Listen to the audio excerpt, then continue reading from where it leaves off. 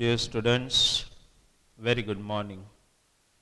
And uh, as you know, chemistry continues and you are attending already today. Chapter name, so acid, base and salt you all know. And today we are attending our lecture number 3. Okay? Now my dear student,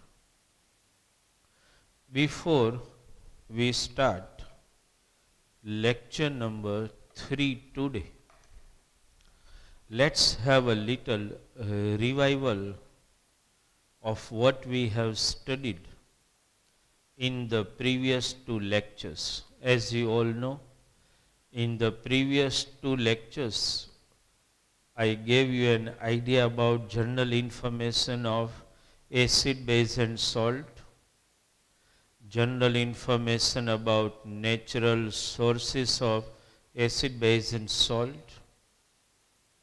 At the same time, we also discussed regarding lecture 2 I specially gave just for the indicator, you know that?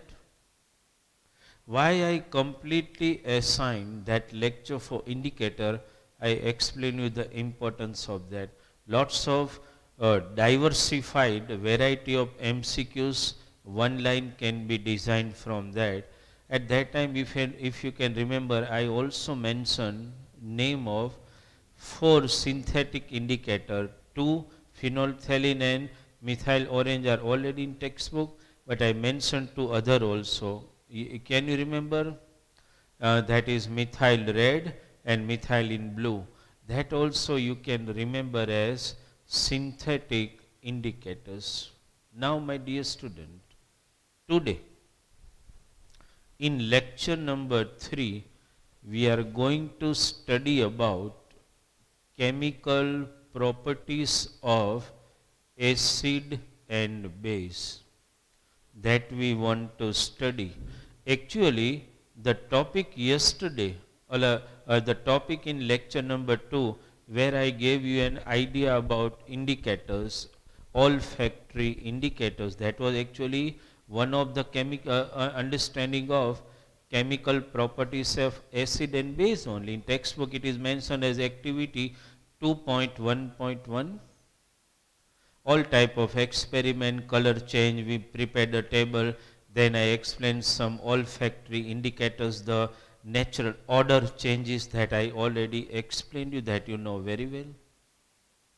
Now my dear student, today let us try to understand some other chemical properties of acid and base. So today uh, we are understanding uh, the topic 2.1 actually we started it chemical properties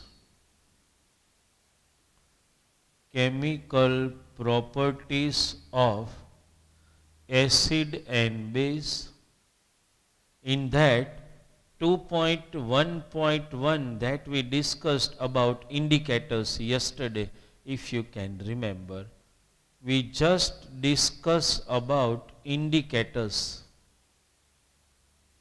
That was activity 2.1.1 where I gave you an idea regarding various indicator, naturally available indicator, then some artificial or synthetic indicators and I gave you at the same time idea about olfactory indicators. Understood? That was our 2.1.1. Now today my dear student we are going to understand regarding chemical properties of acid and base. Different type of activities has been given in textbook. Let us try to understand each and every activity in detail. So today our topic is 2.1.2 that is uh, this two activity we already uh, discussed now today we are discussing 2.2.2 name number doesn't matter so much. What matters is the content, understand of the topic, what we are going to understand today. Let me first make the title of that. We are to in today's lecture we are understanding reaction of reaction of acid and base with metals. This is our target today when we start. Reaction of acid and base with metal. This is the chemical uh, property we are going to discuss. Reaction of acid and base with metal.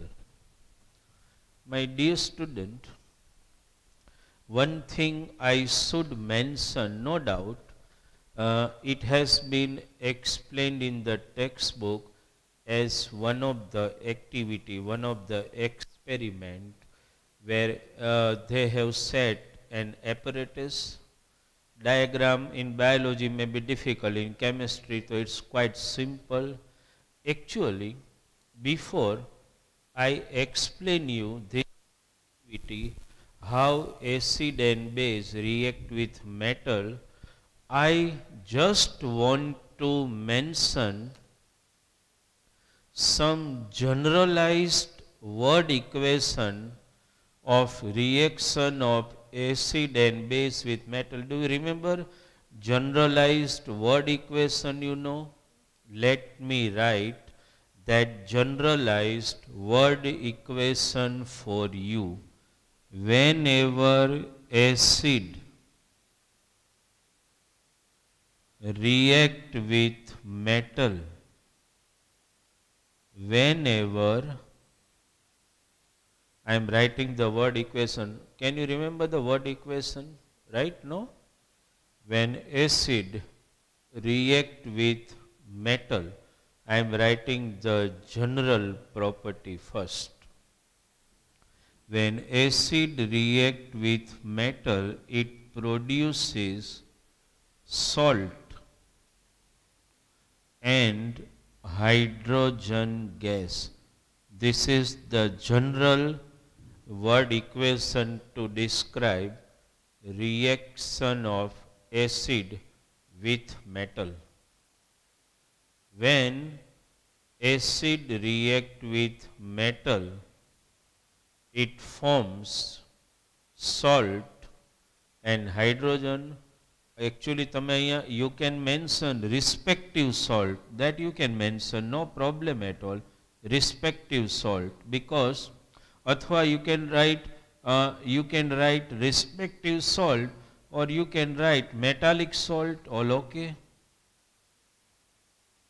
Okay so whenever s react with metal to describe it in general format understand in one line if asked okay, uh, uh, what uh, what happens when acid react with metal just explain in one line so how will you write when metal react with acid, it forms respective metallic salt and produces hydrogen gas.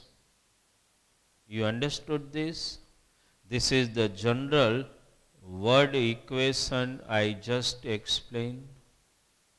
Down karo and you speak with me. Acid react with metal, it produces respective metallic salt and produces hydrogen gas. If I want to write the same word equation for base, yes, it applies. When base react with metal, similar thing, they also produces, I am not writing respective metallic, you all know, they produces salt and they release hydrogen gas. You understood this? So just to confine in way, if in one line asked what acid or base react with metal, so my dear student in one line answer what you can write when acid and base react with metal they produces respective metallic salt and produces hydrogen gas. This is the basic concept of understanding of this activity. Activity title is reaction of acid and base with metal so, uh, suppose in exam you are asked, in homework also if I give, describe reaction of acid and base with metal. So, my dear student, you should not start directly with activity. You should write the general statement first. What is that? Whenever acid and base react with metal, I am speaking it again so that you can note down. Understand, whenever acid and base react with metal, they produces respective metallic salt and hydrogen gas. This is a generalized statement which you can write Understand? Suppose in activity, if we uh, want to just uh, mention you, has been clear in your mind. Suppose, uh, let us try to perform an experiment. Suppose, my dear student, uh, you take one test tube. Suppose test tube is taken Okay, suppose you take one test tube. Okay. And in that test tube, suppose you have to close it with rubber cork already. Okay. And in this test tube, suppose it has to be closed by rubber cork. Okay one hole rubber cork. In this test tube, you have to take a mixture of one metal because we are going to study the reaction of acid and metal. So obviously one metal has to be taken and my dear student, you are performing this experiment in laboratory. So when you perform any experiment in laboratory, you always want the rate of reaction to become faster. If I take metal pieces, then the rate of reaction would be definitely slow. So rather than I take a metal pieces, I will take it in either powder or granular form ultimately. So suppose we have to select any one metal. Suppose we take zinc metal here. Okay. Zinc metal means I have taken zinc granule. This is zinc granule. Granular form એટલે you know a powder type of uh, granular form. This is a zinc granules I should mention. Zinc granules and I have also taken at the same time here dilute suppose sulfuric acid this is what I am showing dilute sulfuric acid because you perform experiment in laboratory under the teacher's assistant and observation then also it is a general guidance not to take concentrated form of acid. Dilute acid we have taken. So here in test tube we have taken a mixture of what? Zinc granules and dilute HCl. What happens to note down the observation? Let us, my dear student, take one delivery tube. Understand? Suppose uh, here I take some one vessel. In chemistry, so you can draw diagram. Okay, it's all okay. Understand? Suppose we have taken soap solution in this and here one delivery tube is there delivery tube will carry the gas produced from here up to the salt solution okay. Suppose this is delivery tube okay. Delivery tube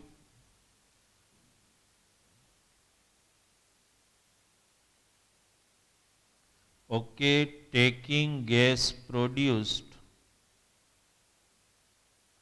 up to the vessel which is filled with soap solution. Suppose this is the vessel. Understand this vessel is already filled with soap solution. Understood? Suppose uh, this is delivery tube and we have filled the vessel with soap solution. Why is not water and soap solution? So that the produced gas will form bubbles. We all know one thing very well. The hydrogen gas is actually, what you know, insoluble in water. So how we detect? It is odorless, colorless. How can we detect whether the production of hydrogen gas has taken place? So that become possible only by soap solution when the hydrogen gas come here it will form bubbles. Okay? Now try to understand. Observation. Now what happens my dear student? These are some uh, apparatus arrangement stand and all thing that you can draw easily. And doesn't matter much. Now what happens? What we have taken this is one test tube already okay or hard glass tube also. This is glass tube apparatus.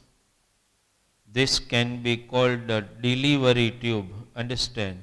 Delivery tube always carry gas understand from one vessel to another vessel and here we have taken what? That is soap solution. Okay my dear student these are soap solution we have taken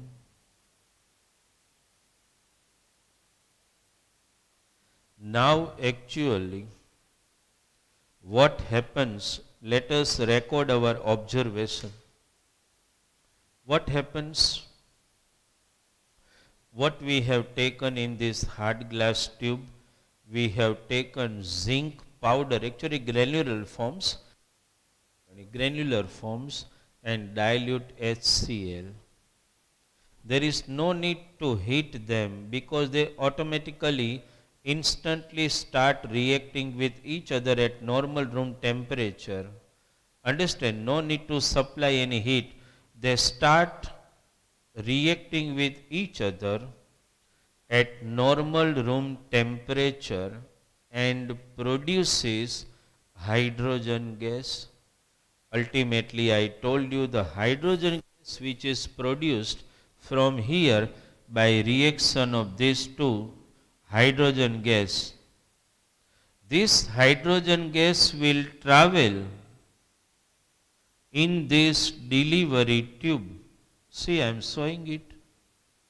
Hydrogen gas will travel in this delivery tube and reach to the soap solution. But as I told you, hydrogen is insoluble in water the moment it reach to the soap solution, it start forming bubbles. Understand? And these bubbles can be seen this way. Uh, hydrogen bubbles are formed. And this bubble also start coming out. These are actually hydrogen bubbles which suggests actually the production of hydrogen gas. You can fill hydrogen gas in any container and you can check its properties. As you all know, it is colorless gas, odorless gas and one property itself is implied from here that it is insoluble in water otherwise it haven't has formed the bubbles it would have dissolved in the soap solution which is prepared in water but actually does not occur. Hydrogen gas is insoluble in water and it formed bubbles. It is seen in the form is coming out of soap solution. Three properties production of hydrogen gas has already been clear in your mind. First, colorless, odorless, not seen, no smell, no odor is felt. It is insoluble in water. That's why it does not dissolve in in soap solution, but it forms bubbles and come out in the form of bubbles. Now, as you all know, okay, hydrogen is inflammable. It immediately burns. Okay, how can you check it? Suppose, my dear student, uh, suppose I draw one bubble here. Just take an example. These hydrogen bubbles which are coming out, okay? Suppose one hydrogen bubble is there. The moment I bring burning matchstick near it, actually, right? Suppose a burning candle, chalo na? Or burning matchstick or burning candle, whatever, if I bring near this burning matchstick, okay? or burning candle, what happens? Hydrogen is already, you know, that hydrogen is inflammable gas and it possesses high calorific value around one, approximately 150 kilojoule per gram. So the moment burning candle or burning matchstick is brought near, understand this bubble, it start, means it blast, understand, with crackling sound. Understand it burst with crackling sound. Why the crackling sound is uh, heard? Because the hydrogen is inflammable and it starts burning quickly. Understand? So what happens? Hydrogen gas starts burning with crackling or popping sound. Understand? So that suggests the production of hydrogen gas already. So my dear student, this activity itself implies that whenever any metal react with acid, it produces hydrogen gas. You understood this? Production of hydrogen gas can take place whenever any acid react with metal. To just generalize and write the equation, word equation we have already written here you noted down with me just to mention the equation for this. My dear student, it's quite simple. Uh, let us mention equation here. Chalo. Should I rub this? You all know which topic is continuing so that uh, you know. Understood. Actually what happened that acid reacted with metal and produced respective salt and hydrogen gas. Here not only hydrogen gas comes out but after the reaction get over whatever produced here will be a particular salt of respective metal which we have taken here. We have taken which metal here? Zinc. So some uh, aqueous solution of zinc salt is to be formed here to mention it in the form of word equation I mention to mention in the form of uh, actually skeletal, not skeletal, balanced chemical equation. Let me write. Uh, I am writing chemical equation here. You can note down in your book just below it. Understand? Suppose zinc. We have taken zinc granule in solid form that you all know my dear students zinc granules are taken zinc granules and what is added here dilute HCl so when I am speaking the word dilute I have to mention aqua here because concentrated form of acid we generally avoid to utilize in laboratory to avoid any type of danger which may take place due to the negligence of the student at that time. Understand that's why dilute HCl is taken here.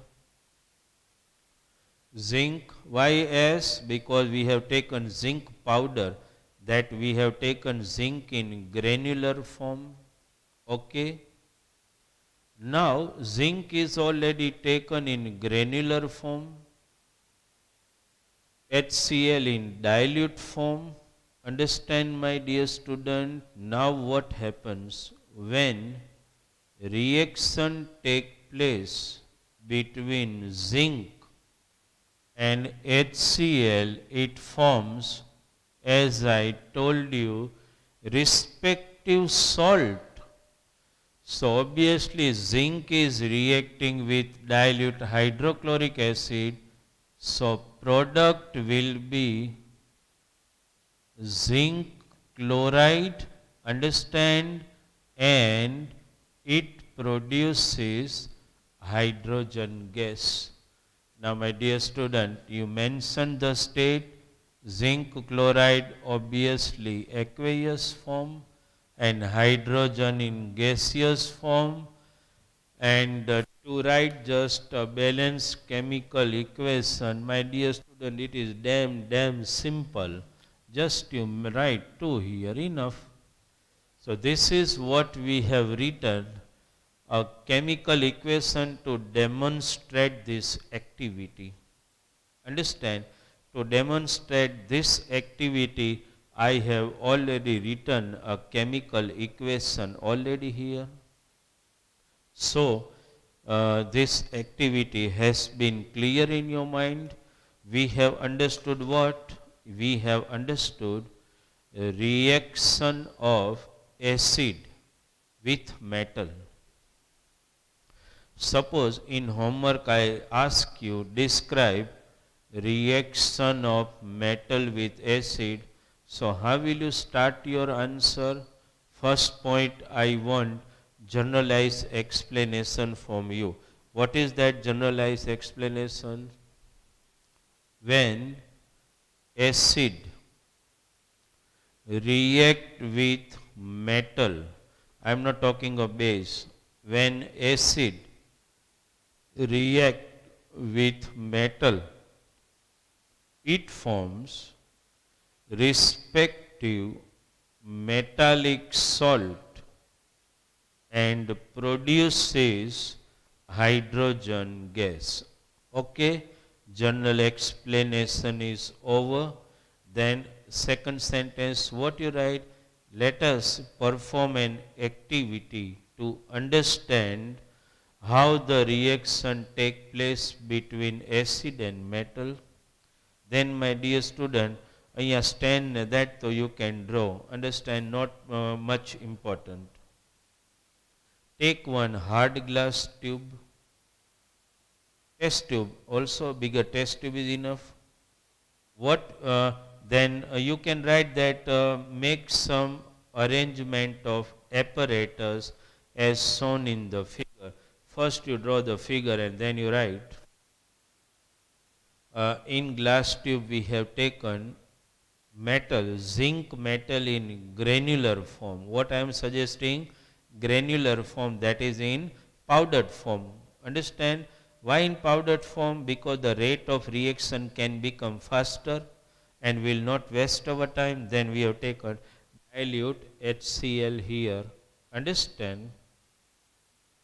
Uh, this is the arrangement. In another vessel, soap solution taken and there is a delivery tube which transfer gas produced in glass tube to the uh, vessel containing soap solution. These are, uh, this is what the activity is about, then observation.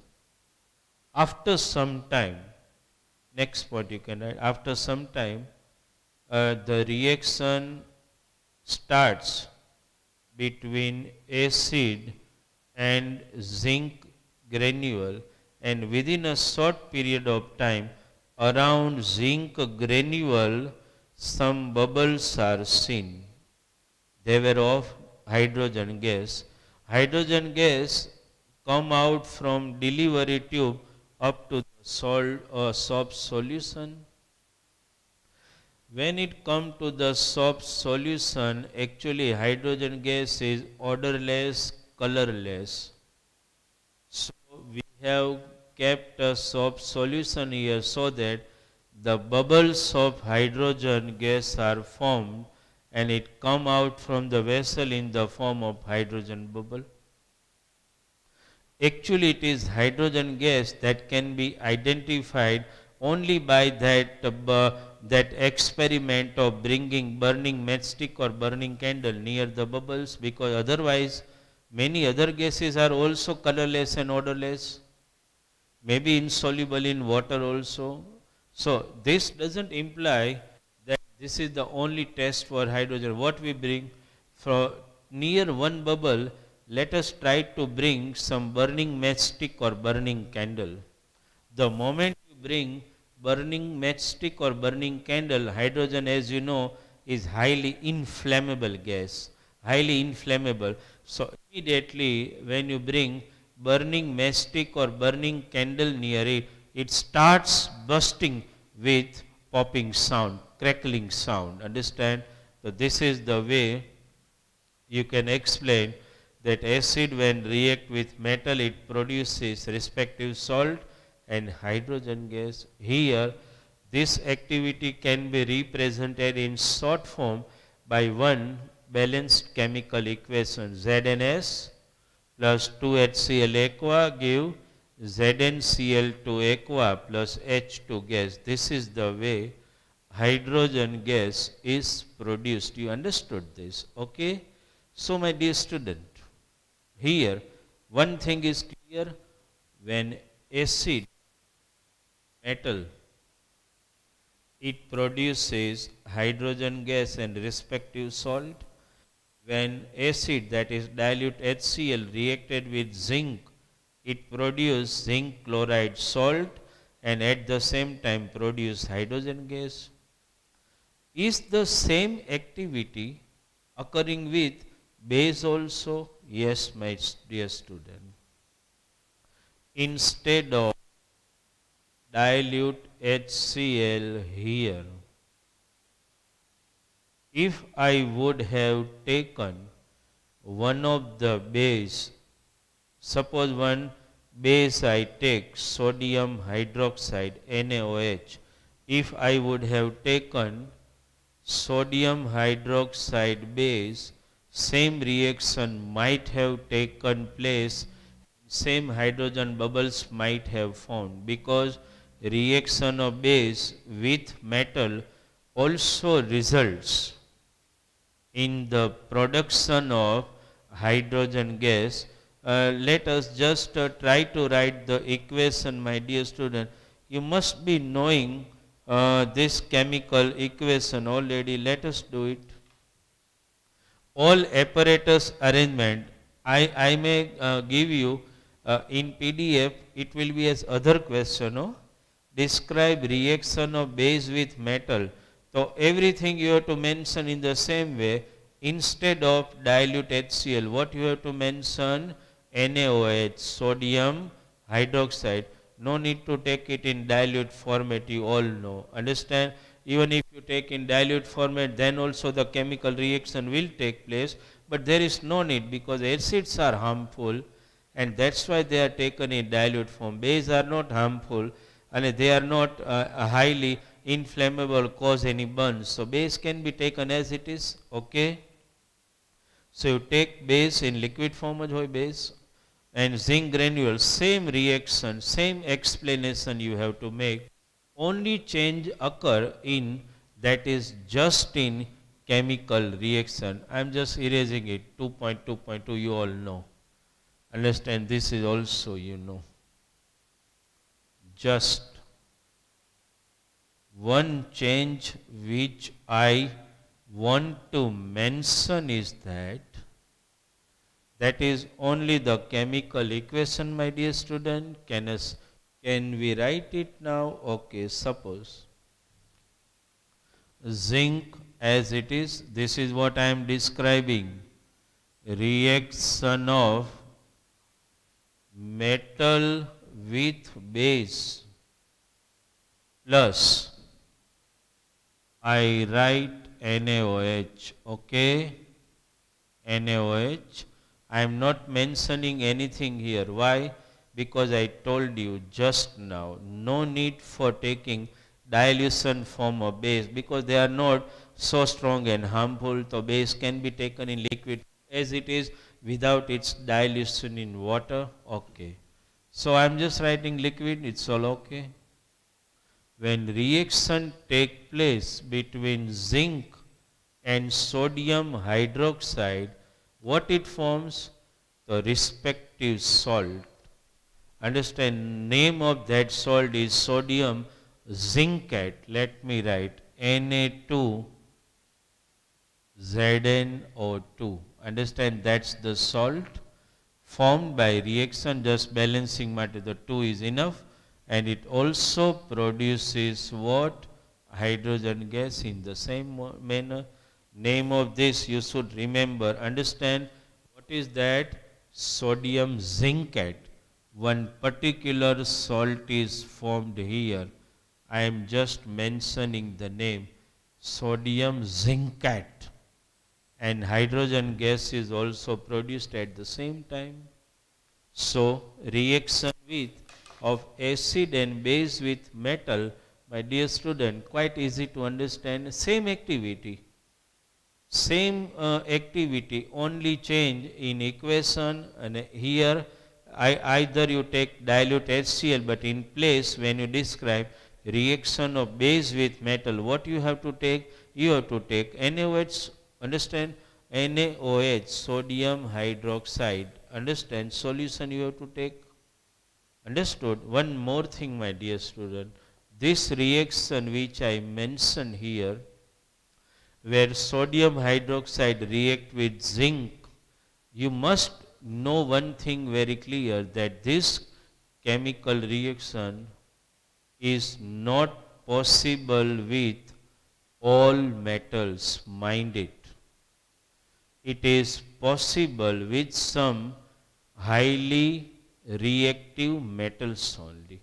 It is not possible with all metals that you should mention that this reaction is not, not possible with all metals. Okay, so my dear student, before we end today's lecture, today lecture number 3, where I explained you activity 2.2.2 that is reaction between acid and metal, base and metal 2.2, uh, 2.1.1 that was general discussion about chemical property of acid base, discussion about indicators and today uh, activity 2.2.2 that is reaction of acid and base with metals that I explained. Okay.